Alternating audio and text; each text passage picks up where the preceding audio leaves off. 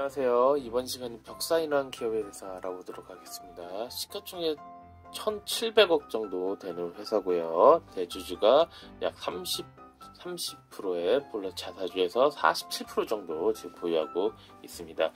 이 회사는 건축자, 그러니까 건자재를 판매 및 유통하는 회사고요. 그, 그 중에서 단열재, 천장재, 외장재 그런 건축 자재를 생산도 하고 있다고 합니다.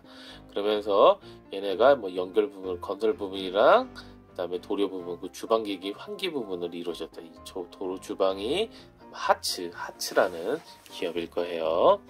자, 지금 수도권이랑 리모델링 팡커져 하면서 지금 뭐냐 재건축이 막혀 있으니까 이제 리모델링으로 지금 시공사가 선정되고 계속 그쪽으로 지금 바뀌고 있어요. 흐름이. 그래서 그쪽을 리모델링을 하려면은 여러 가지 건자재 쪽이 이제 들어가고 있습니다. 그러면서 이런 큰 건설사들이 지금 이쪽으로 지금 힘을 쏟고 있다는 내용이고요. 그러면은 어떠겠어요? 건자재 관련 아까 뭐냐 외장재 그런 거 이제 단열재 이런 거 쓰는 이 벽산이 아마 지금 이렇게 빛을 볼 것 같습니다. 벽산의 매출은 단열재, 석고보드, 그 다음에 연결 하츠랑 벽산 페인트 그런 쪽을 지금 쓰고 있다고 하잖아요. 여기서 지금 자 시대 흐름에 지금 점점 맞고 있습니다. 그러면서 이 하츠 하츠라는 회사가 뭔지 아세요? 그 다들 주방 한번 가보세요. 주방에 주방에 그 환풍기 있잖아요. 올라가는 거 거기에 거의 대부분이 하치라고 적혀 있을 거예요. 자, 이 하치라는 회사가 있는데 여기 읽어보면은 하치가 2등, 1등, 아니 하치가 1등인데 2등 회사인 엔텍이라는 회사가 있대요. 얘가 지금 파산됐대요. 파산. 2등 회사가 파산되면 어떻게 될까요? 1등밖에 안 남았겠죠. 독과점이죠, 거의. 이쪽을 하치가 더 올라간다는 거예요. 그러면은 자본법으로 해가지고 벽산이 더 부각을 받겠죠. 자, 차트 한번 보도록 할게요. 지금 우하향하던 차트가 지금 고개를 돌려서 지금 이쪽에서 반응을 보이고 있습니다. 자, 이 보이고 있는 상태에서 이렇게 한번 쫙 올라와 주면서 장기 이평선 2, 4선을 지지를 받고 있다가 쭉 올라와 주면서 4, 4, 8선을 한번 뚫어주고 한번 이렇게 내려와 조정을 왔습니다. 조정을 하면서 여기서 한 번 쌍바닥을 이렇게 만들어졌죠. 한 번, 한 번 이렇게 해서 이렇게 해서 밑을 공구리를 잘 다지고 밑바닥을 다지고 그러면서 4, 4, 8선을 다시 또 띵긋띵긋 하고 이렇게 건드렸어요.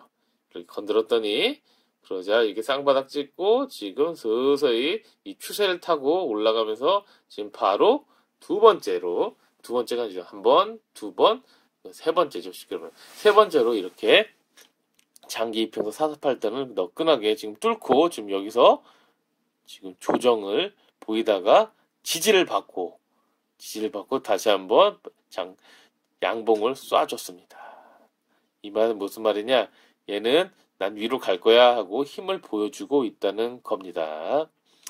자, 여기서 만약 이 주식이 이 장기 이평선, 장기 이평선, 아, 장기, 이 추세선을 깨지만 않는다면은 얘는 계속 이런 식으로, 이런 식으로 하면서 우상향으로 간다는 힘을 보여주는 거예요. 자, 그래서 여기서 이제 바로 더 갈 수, 바로 갈 수도 있고, 아니면 이 기준봉, 예, 중심봉이 한 2280원 정도까지 다시 조정을 보이면서 이 추세를 깨지 않는다면은, 깨지 않는다면은 요쯤에서 분할 매수를 한번 해볼 수 있는 관점이 생기고 있어요.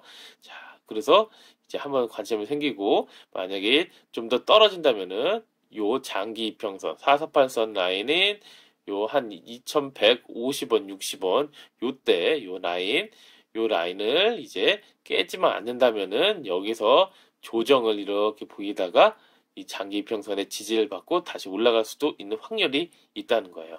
근데 만약에 이 장기 이평선 2150원 정도 깨고 이쪽으로 내려간다면은 얘는 요 바닥인 1800원대까지도 떨어질 확률이 있다는 거예요.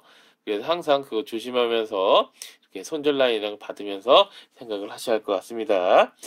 만약에 이 주식이 여기서 이 박스 상단인 2,400 90원, 80원 정도를 지지를 받고 이제 올라간다면은 여기가 이제 지지 라인이 되는 거예요. 이렇게 이렇게 지지 라인이 되니까 여기는 단단한 지지 라인이 되니까 이걸 디딤발을 닫고 약 3,000원대까지 이제 올라갈 확률이 있다는 거예요. 얘는 그래서 항상 반응이 어떻게 보일지 자 한번 잘 보면서 이 주식을 지켜봐야 할 것 같습니다.